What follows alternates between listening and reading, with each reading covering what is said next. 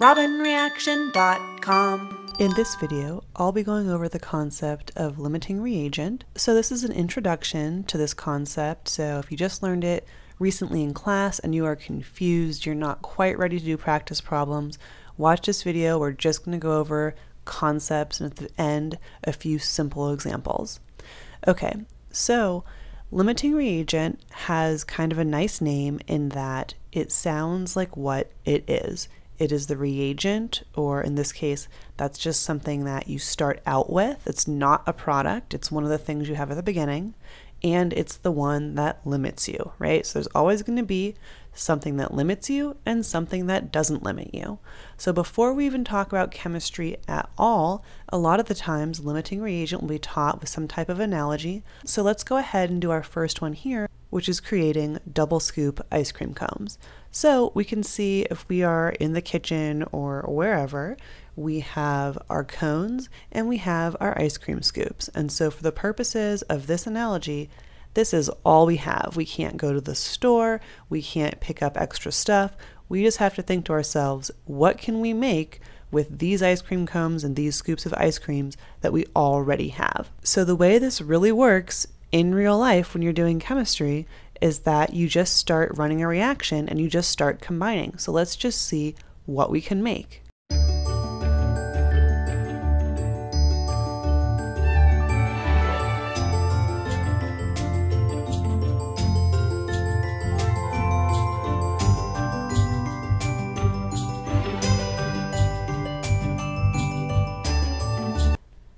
All right, so this is it, right? We can see just trying to duplicate the ice cream cone that's on top of the arrow that we are able to create three double scoop ice cream cones and we have still this one remaining cone which did not have any ice cream. So in this case, the reagent or the thing that we started with that limited us, that didn't let us continue making anything else, was the ice cream scoops. And the one that we have extra of, or in chemistry we're going to be saying excess of, was the ice cream cones, right? So the ice cream cones in this example are our excess reagent. So that's pretty much the entire concept. Sometimes, of course, you could have things that were paired together exactly equally, and in that case, it would just be perfect and there wouldn't be excess or limiting reagent. But most of the time, 99.9 in chemistry, there's going to be an excess of one, and that means that one is going to be limiting, right? You just have unequal amounts of stuff, so you're going to have leftovers. If you have any leftovers, that's your excess, and the thing that got all used up, that's your limiting. So let's go ahead and do another analogy, and this is just with molecules. So we can see here, this is a little water molecule. So the purple is an oxygen, the green is hydrogen. So our two reagents are O2 and H2. So they're going to combine and they're going to make as many water molecules as possible.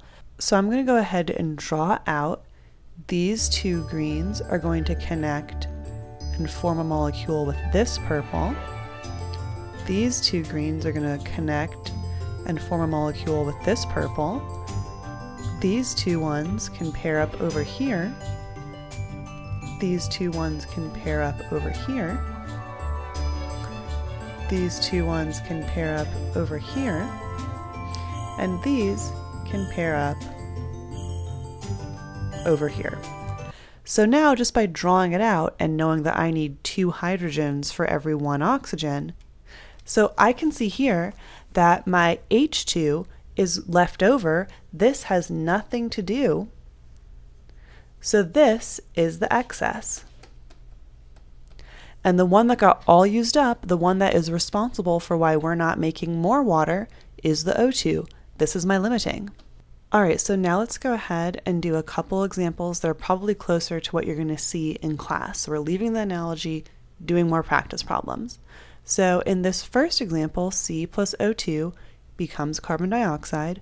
The very first thing you have to do with all these examples is make sure your equation is balanced. That is so important. So in this case, this is balanced.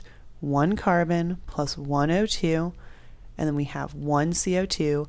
This is completely balanced. We have one carbon and two oxygens on both sides. And so with this one, since we have a one-to-one ratio with our two molecules, we can just go ahead and look at which one has more. So in this case, oxygen has 4 moles, carbon only has 3. So we are going to run out of carbon before we run out of oxygen. So in this case, carbon is our limiting reagent. And oxygen, because it had one more mole than carbon, that's our excess. And so just a couple of notes here. First of all, reagent is really important, right? We would never label carbon dioxide as the limiting or the excess because it's not a reagent, it's a product. So it's not really eligible to be limiting or excess. It's just however much you make, that's what will be there. And so the next thing we have to keep in mind is that our ratio usually isn't going to be one to one. So we can't just look at three moles and four moles and say, oh, okay, the one that runs out first is the one with the least number of moles. Because as you saw in the ice cream cone example and the example with water, those aren't one to one, right? We need two scoops of ice cream for every one cone. So even though we had more scoops of ice cream, we started out with six, and we only had four cones, we had less. Our excess was still the one that had less because our ratio didn't require that we used as many cones. We needed more ice cream scoops. All right, so now let's do another example where we don't have a one to one ratio. In our iron plus oxygen, we have four irons plus one oxygen is balanced to create two Fe2O3s. And so we're also given that we have 2 moles of iron and that we have 0.7 moles of O2. So now there's a couple different ways that you can figure out which is your limiting reagent. I like to do a way where we kind of see how much each reagent would need, and then we see which one of those situations is actually possible. So, what does that mean? So, we have two moles of iron. So, we know that we have this ratio. For every four atoms of iron that we have, we need one O2 molecule. So, we basically have however much iron you have, you need four times more than your oxygen. So let's go ahead and look at this ratio. So I like to do these problems by going ahead and setting up a ratio between what we would like to have and what we actually have, and then see which one runs out first. So our ratio of what we have in our balanced equation is 4 moles of iron to 1 mole of O2. And then what we actually have is 2 moles of iron. And so now let's figure out how many moles of O2 would we need to use up all two moles of our iron. So we do that by just solving for this ratio. So we go ahead and solving this algebra, we're going to get 0.5 mole of O2. That's how much we would need of oxygen to completely use up the iron. So now let's do another ratio, where let's make up a ratio between oxygen and iron and figure out how much iron we would need to use up all the O2.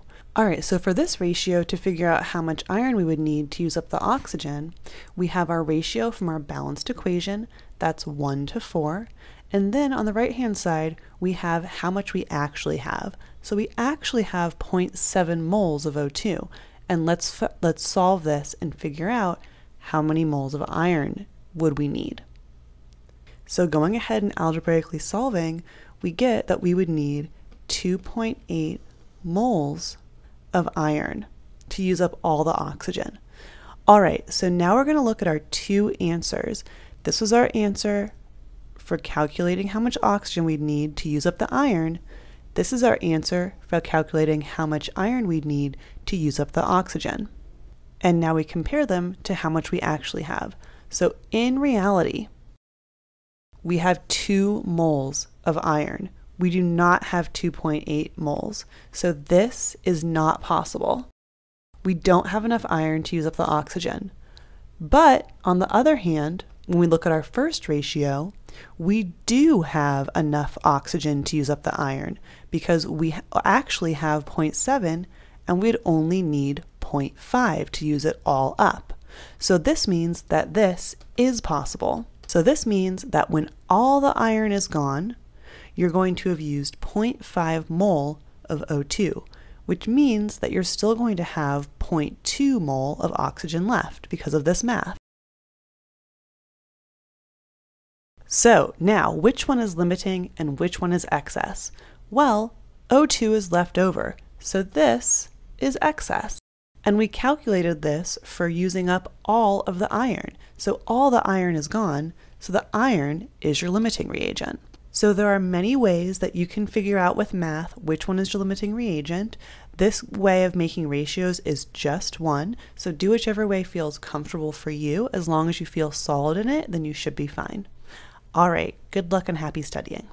Hey, I hope you liked that video. Please feel free to like, comment, or subscribe. And if you go to my website, I have a ton of free practice problems you can check out. And if you need even more help, you can hire me for one-on-one -on -one private tutoring sessions that are online. All right, thanks, that's it. Happy studying.